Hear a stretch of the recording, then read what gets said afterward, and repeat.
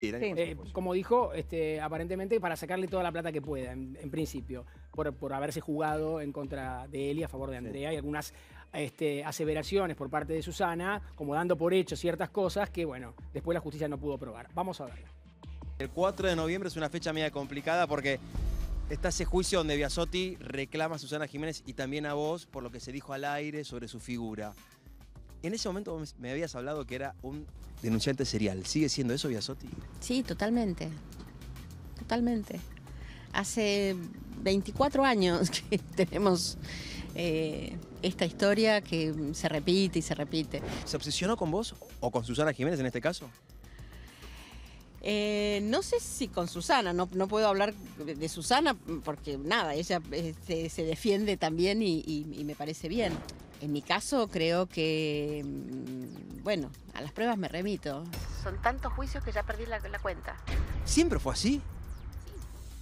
Que yo siempre- no, lo- no, lo, no lo- no es que no lo pude ver, no tuve tiempo de verlo.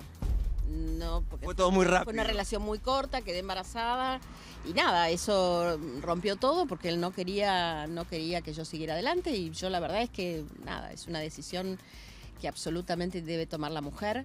Eh, más allá que si estás en pareja y demás, tenés que respetar obviamente la, la decisión, pero, pero eh, el cuerpo lo pone una mujer. Él quiso que abortaras, perdón la palabra. Sí. Que abortaras, quiso que... Para seguir la relación, yo no debía seguir con, con, con el embarazo y para mí la vida de mi hija era lo más importante. Yo estoy a favor de, de la mujer que decide abortar. Creo que es un derecho de la mujer de tomar esa decisión. Pero también es un derecho cuando uno dice, mira, la vida que llevo, yo siento que tengo una vida y la voy a respetar. Y ahora el 4 de noviembre vas a estar ahí. ¿Pensás que la justicia le va a la razón que vos tenés que poner plata por, ah, por lo que algo que salió en televisión? Que yo no dije nada, porque en ese programa lo único que fui es a defender la posición de mi hija, que mm, en quien creo, acompaño como mamá a, a todas las decisiones de ella, porque además no son decisiones eh, que toma la ligera o que no Me imagino la bronca también de Ana cuando se entera que el 4 de noviembre tenés que ir con Susana Jiménez. La decís, che, Eh, sí, sí, sí. Pero bueno, en realidad entendimos con mucha terapia, mucha terapia, eh, entendemos que hay personas que, mm, que tienen una personalidad donde no, no sueltan, no entienden, no respetan las decisiones del otro. Uno no es dueño de un hijo, uno es responsable de un hijo. Eh, hay diferencias muy importantes y que cuando un hijo te dice no, en realidad uno como padre no tiene que enojarse, tiene que replantearse qué hizo bien y qué no hizo bien. cuando le ves a los ojos, ¿qué te genera?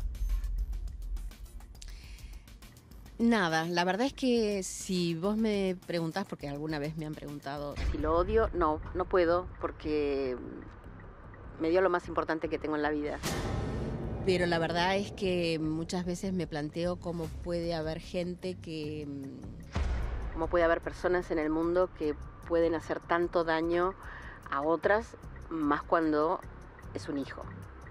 O sea, e- e- eso es imperdonable. Eso es imperdonable. Hace un año él dijo que intentaba recuperar el vínculo con su hija, ¿eso es verdad?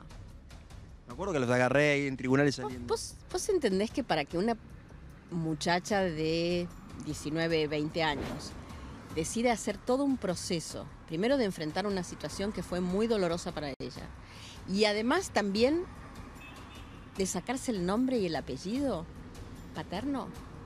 ¿No es verdad también que a veces esta situación de hostigamiento desde lo legal es para generar miedo en otra persona? Sí, es para amedrentar, es para eh, callar, para amordazar. Es, es serial, o sea, desde que mm, desde que Ana nació, desde la inscripción, desde el nombre, desde, desde todo. ¿Y Susana Jiménez te llamó para decirte, che, qué miedo lo que se me viene? ¿O ni... No, Susana, con Susana no hablamos de estas cosas. ¿No te dice Susana, vi a Soti en qué me metió? No, no, no, no, no, no, no. No, no, no, creo que ella sentó una posición el día que fui a, a- a contarle a ella en el programa que estaba embarazada. O sea, si ven el programa, ya, ya- Ya dijo, ¿con quién te metiste? ya dijo todo, ya dijo todo. Así que no, no, no es sorpresa tampoco. Bueno, muy buena nota con Andrea, le agradecemos un montón porque Sí. decimos rompió el silencio, esta semana también le dio una nota a los colegas del AM, pero cuando le preguntaron por el tema de Biasotti dijo que era un tema de su hija, este, y Acá no, habló. no- no amplió mucho. Aquí se ha dedicado largamente a contestar, lo cual le agradecemos, este, de una situación atravesada por los años, por conflictos eternos, por juicios que han ido y han venido, y una situación donde ella siente que ha habido un hostigamiento y una intención de, de amordazarlos, y una hija que dice decidió sacarse el apellido del padre en determinado momento, eh, producto de una relación que evidentemente le ha hecho sufrir muchísimo más allá de lo que ella vivió.